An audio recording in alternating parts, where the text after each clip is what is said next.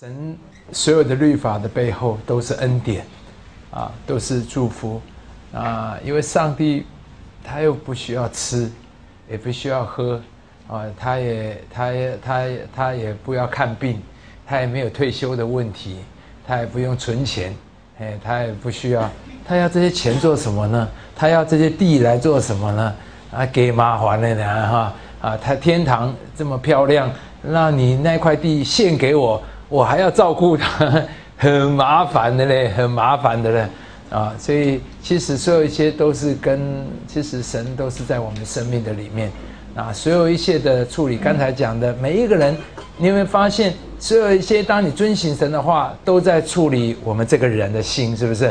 那刚才苏先生说，免得啊倒下去世了，啊，对不对？他这是处理我们的心，是不是？我们还原我们跟，就是其实都在我们跟神的关系。啊，因为神不要钱，神不要地，神不要那所有神做的就是我们这个人。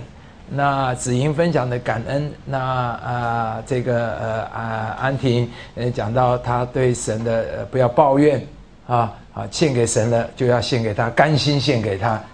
那其实感受到的、领受的都是我们这个人，所以神做的所有一切都在改变我们这个人啊，处理我们这个人，使我们这个人更能够。呃，更美好，跟神的关系更美好，让我们的心更加的纯正。那所以我们要从这个角度里面来看这些东西。所以我们也学习，对每一个事情临到我们，每一个事我们做的时候，我们就要回到我们这个人的生命的里面啊。那所有的东西就是使我们透过这些遵行神的话，或我们所有的这些里面，让我们的生命越来越纯净。让我们的呃态度越来越准确。好，那今天其实呃这一段啊的确讲起来不太好读。那呃那是在以色列人特别的一段的时间，就是把土地献给神。那关于土地的奉献许愿的里面，那神有一些特别的规定，特别的规定。那呃第一就是呃都要成圣，都要成圣，呃。十七节说：“他若从喜年将地分别为圣，分别为圣。”所以，呃，我们看到，呃，当你献给神的时候，的意思就是什么？分别为圣啊，分别为圣。那献给神的，那就是分别为圣的意思了，就是不要把它分别为圣，因为献给神的，无论是什么。都要成圣，嗯，包括我们这个人，当我们这个人献给神，他就成为拿细尔人。拿细尔人就是归神，他说要离俗啊，对不对？那所以要离俗，因为呃归神，那就是要分别出来的，是单单的为着上帝。那牲畜啦啊，无论是献给呃神的人呢，或是牲畜啦，或是你田里出产的。呃，树上长的果子啊，田里出产的禾稼啦，或是今天我们所呃说的献给神的土地，都要成圣。那所以分别为圣这个词啊，或是成圣这个词，在本章里面出现了十八次，啊，十八次。所以你会看到那种强烈，因为是呃呃二十七章整个都在讲奉献，啊啊，那出现了十八次。所以你可以显出奉献给神有一个很重要的意义，就是归神为圣，归神为圣。那奉献给神的、归给神的，都要成为圣洁，并且只能为圣洁来使用，不能作为俗用，只能献神为用啊，为神为用。所以，当你把金钱说这定归给神，哦，那个那个钱就是分别为圣的钱了。那所以分别是，你就不能把这个钱挪作他用，那是归给神的，专属神的，那是要从分别出来的啊，分别出来的。所以呃，所以弟兄姊妹，无论我们的时间、我们的金钱、我们的物品，那许愿献给神，就要把它分别出来，单单归于神，归神为圣。啊，所以我也再次，我们也再次的体会。那神对圣洁的要求跟必要，那一方面，呃，分呃归神就是圣洁。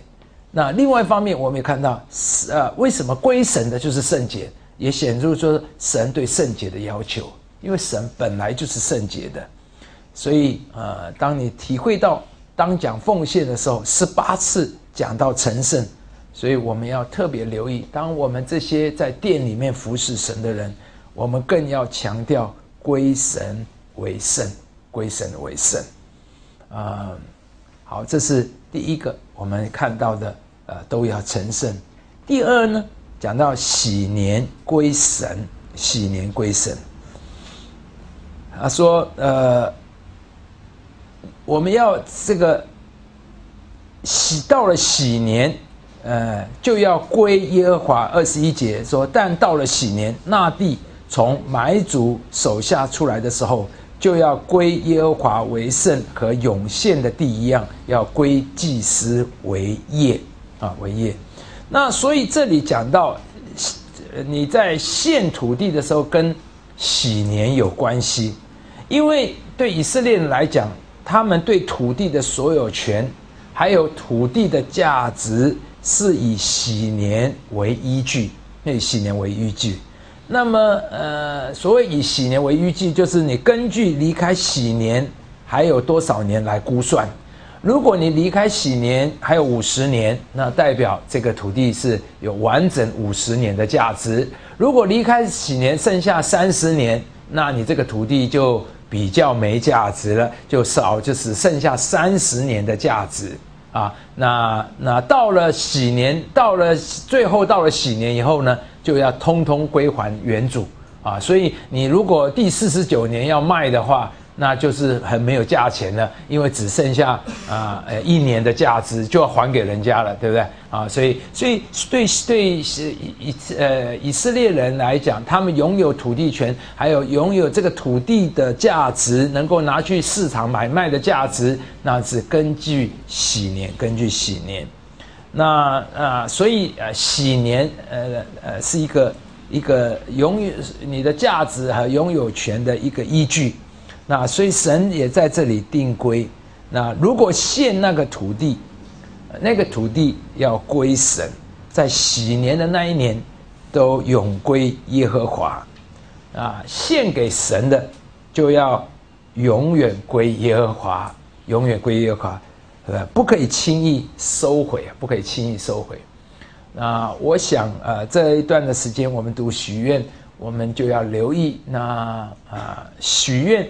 归给神的，就要属神。我们要甘心。我们呃，有时候我们献的时候，或许不管如何，你觉得当时候的情况或任何呃原因，呃，或许有人觉得后悔啊或什么，但是我们要有一个对神的态度，许愿归给神，就要归给神，上帝不会亏待我们的。那事实上，在他们的条例里面。也有这样的条例，虽然神不喜欢我们许了愿却反悔，可是神还还是怜悯，说如果你一定要赎回，那就要加上五分之一的价值，那使得人不会轻易随便许愿。你随便许愿，随便毁愿，那对神是一个不敬畏，表示我们对神是一个。没有信守的人啊，就好像呃，所以为什么呃结婚以后不能随便离婚？如果随便结婚、随便离婚都很简单，呃呃，结婚只要去登记，离婚只要也要只要取消一下就可以了，那真的是那就就好像可以很随便。那对这个承诺是很没有价值的承诺，等于没有承诺一样。那一样的就是，所以神不喜欢我们这样。虽然神怜悯，的确有人呃会有因为某一种原因，但是神还是提醒我们，呃，做了许愿就不要随便反悔，免得我们好像成为一个对神不信实的人啊。我们的承诺是随便可以改变的。好，那这就是神在这里提醒我们的啊。今天我们透过。在这个土地的呃奉献的里面，让我们一起来学习两个。第一个归给神的都要成为圣洁，都要成为圣洁。那十八次，上帝说要分别为圣，呃，我们要去体会一下啊。我等下给一两分钟，你要思想一下，这个这件事情对你的意义是什么？在你生命的里面有哪一些部分，或是有什么东西，你觉得你没有分别为圣的吗？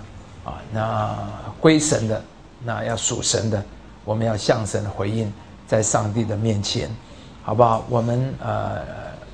我们也没有第二个，就是我们有没有哪一些许了愿，我们却没有做到，或我们反悔的，我们求主怜悯，我们要去处理这些事情，不要把这些事呃仍然继续的，好像就没有去处理它，就一直存留，一直摆在那边，让我们总要有一些处理，让它在神的面前有一个了结，好不好？我们今天有一点时间来到上帝的面前。